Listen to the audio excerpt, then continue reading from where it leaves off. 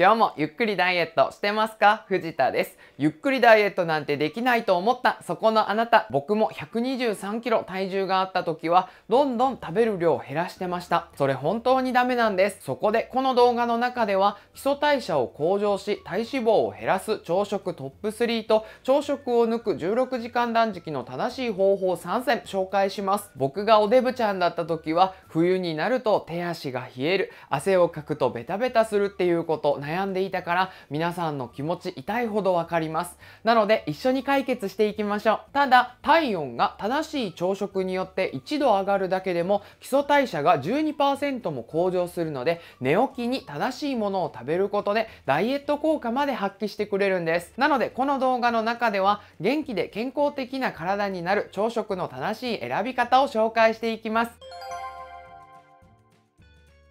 基礎代謝を向上し体脂肪を減らす朝食トップ3まず1つ目は中性脂肪が12.9%も低下する神食材。それは納豆になってくるんです。この納豆に含まれるタンパク質とビタミン E が血行を良くしてくれて基礎代謝が上がってくるために脂肪を燃焼しやすくなります。また国立循環器病センターの研究ではこの納豆を食べた人たちっていうのは中性脂肪が12.9%も低下して総コレステロール値も7.7%下がったっていうことが分かっているんです。なので朝から納豆を食べることによって血液をきれいにしたりとか基礎代謝を上げることができて一日中痩せ体質になるということなんです。なのでここで納豆の具体的なおすすめの食べ方紹介します。それは酢納豆になるんです。このお酢の中に含まれるクエン酸は体の中のエネルギー効率を良くする働きがあって基礎代謝の向上につながってきます。具体的には納豆1パックにお酢大さじ1杯を入れて50回ほどしっかりとかき混ぜてください。それでふわふわになったらこの酢納豆が完成してきますから朝から納豆を食べてみてください。続いて2つ目わずか12週間で中性脂肪を20%も下げる神食材。それはサバ缶になるんです。これはサバ缶に含まれるようなビタミン B12 っていういうのは赤血球を作るので血液を増やして貧血の予防や防止の効果が期待できるだけではなくて血液が増えることによって血流が促進されて体温が上昇します。体温が上昇すると基礎代謝も高くなってカロリー消費を高めてくれるっていうことなんですね。またある研究ではこのサバ缶などに含まれる EPA や DHA が中性脂肪を減らす働きが特に高いというふうに言われていて12週間摂取し続けると血液中の中性脂肪値が約20%も低下したっていう研究結果もあるんです。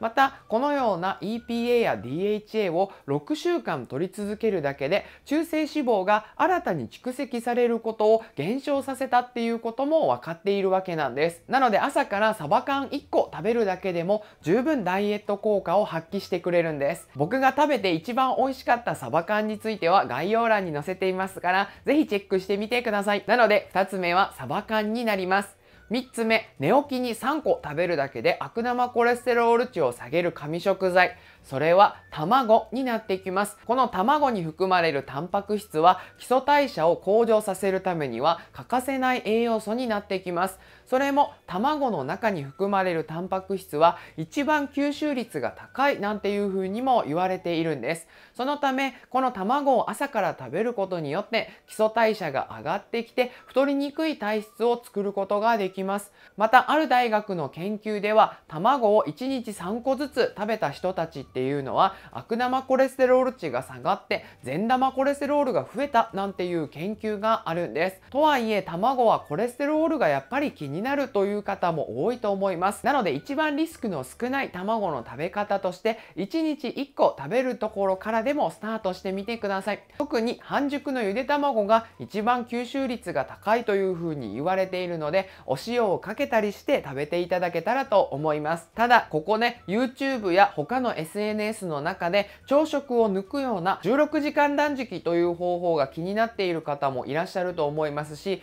実際に僕が痩せたのも16 16時間断食だったわけなんです。なのでここからは16時間断食の正しい方法3選紹介していきます。まず16時間断食というのは1日24時間のうち16時間は何も食べない時間を作って残りの8時間は好きなものを食べてもダイエット効果が高いよ体の悪いものを出していってオートファジーっていう風な若返る効果があるんだよっていう風に言われているのがこの16時間断食と言われる方法なんです。実際に僕もこの方法で痩せることができたんですがその痩せていった流れについては概要欄に僕の初書籍紹介してますからぜひチェックしてみてください。ただこの16時間断食においても試して効果がある人とそうじゃない人っていうのがいらっしゃいますからどういう風にしていったらいいのかっていうのを3つのポイントで紹介をしていきます。まず1つ目リズムが保てない人は NG になります。それは体内時計が狂ってしまって基礎代謝が下がってくるんです。例えば朝食を食べる方法であっても食べない16時間断食であっても今日は食べる日今日は食べない日という風な生活リズムが不規則になってしまうと体の中では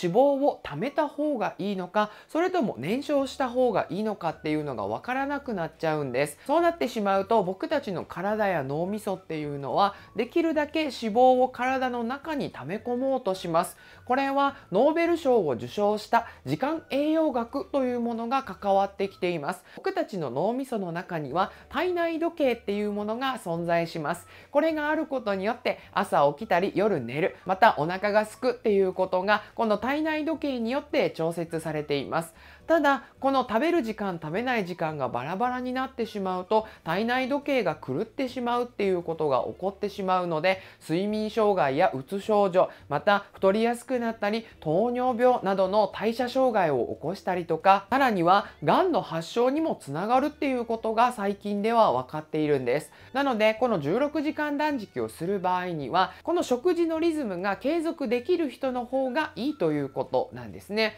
だから例えば昨日日は食べ過ぎたから今日だけ16時間断食をしようとか月曜だけとか週末だけ16時間断食をしようっていうのは体からするとびっくりしちゃうからやらない方がいいということなんですね。ではここね朝ごはんを食べて体内時計を調節する方がいいのかそれとも抜いて調節する方がいいのかっていうのはあなたの仕事や家族の生活リズムに合わせていくことが大切だと僕は考えます。なのでどちらかが絶対っていうことはないと思うので自分の生活リズムに合うのはどちらなんだろうっていうふうに考えていただいて選んでいただくのが一番いいと思います。なのでまず16時間断食をするために正しい方法1つ目っていうのはリズムを一定に保てないっていう人はやめた方がいいということになります。続いて2つ目は持病を持っている人は NG になります。これは薬を朝飲まないといけない人が多くて内臓に負担をかける可能性があるからなんです。例えば朝食後に服薬をしないといけない人は朝食を必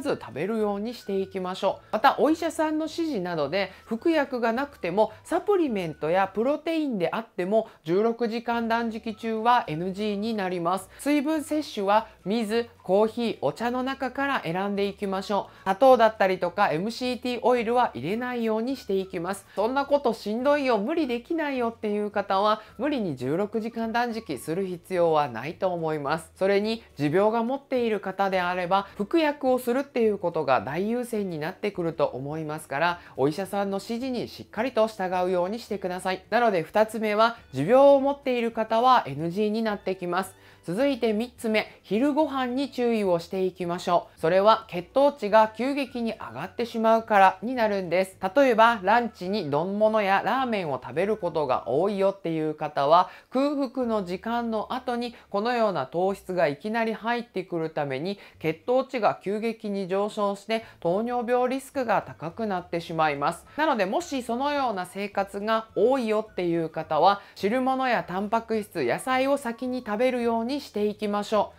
またベジファーストをする際の注意点なんですが野菜を早食いしないようにしていきましょう。またこの16時間断食については実際にダイエットコースの中でも朝食を抜いてうまくいった人と夜ご飯を抜いてうまくいった方もいらっしゃいますからあなたの生活リズムに合わせてどちらでもうまくいく可能性はあります。つまりこの動画の中でお伝えしたかったことっていうのは朝食を食べるかどうかっていうのは自分の生活リズムによって続きやすいものを選んでいきましょう。また食べる場合は良質なタンパク質を多く含むものを積極的に選んでいきましょう。食べない場合は断食明けの食事には最大限注意しましょうということなんです。なので僕のチャンネルでは毎日夜の9時にゆっくりダイエットが習慣になる方法を紹介してます。是非お見逃しないようにチャンネル登録していただけると嬉しいです。それではまた明日。バイバイ。